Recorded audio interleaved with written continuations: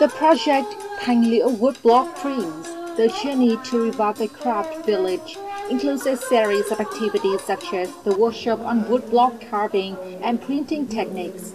In Creative Space of Bạch Group, an initiative aimed at preserving national heritage and local craft villages, participants have the opportunity to directly experience the process of creating, cutting and printing with woodblock from selecting the wood preparing a block, carving it, inking, and then printing with it, all under the instruction of local master artisans.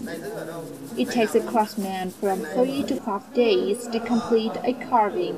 However, some take several months, depending on the length of the text and the theme requested.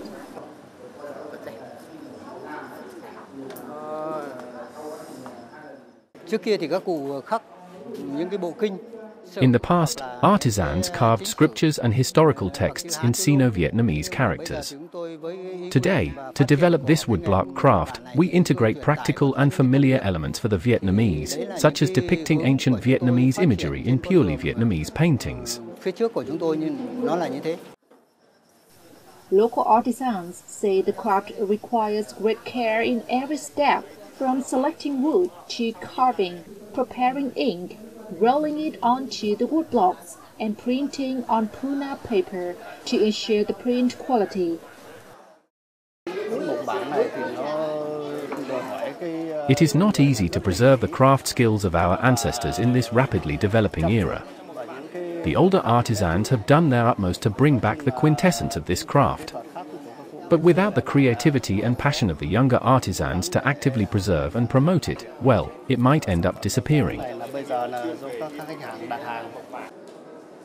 The creative cultural space of Bạch Nghệ Group was established by the Center for Research, Development and Application of Vietnamese Craft Village Products under the leadership of Nguyễn Quý Đức, who's been involved with traditional craft villages for 17 years.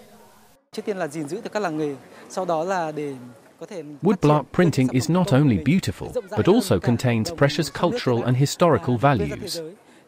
I hope I can learn more and contribute to spreading this art form to more people, not only in Vietnam, but also in the world.